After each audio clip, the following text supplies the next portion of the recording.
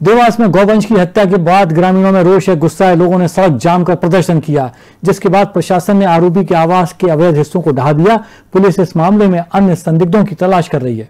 देवास ज़िले के खेताखेड़ी गाँव से एक गौक्षी की घटना सामने आई है।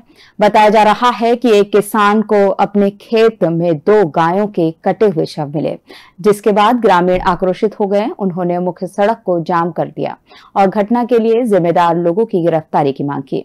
ग्रामीणों के विरोध प्रदर्शन में हिंदू संगठनों के कार्यकर्ता भी सामने आए हैं।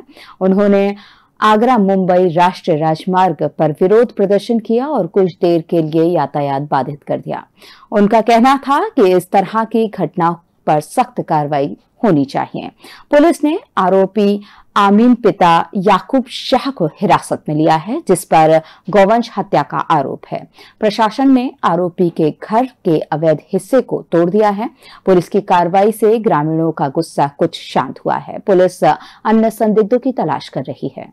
यहाँ एक घटना हुई है बरोडा थाना क्षेत्र में और गाय काटने की उसको लेकर जो व्यक्ति पकड़ाया है, उसके घर के पर कार्रवाई करने के लिए यहाँ पर टीम पहुँची थी। ये गाय काटने के आरोप में एक व्यक्ति को गिरफ़्तार किया गया था। तो उसके मकान की उसका जो मकान था, उसको डिसमेंटल किया गया है। सभी के ऊपर कार्रवाई होगी, जो जो लिप्त थे इस प्रक्रिया में, वो सबके ऊपर कार्रवाई होगी।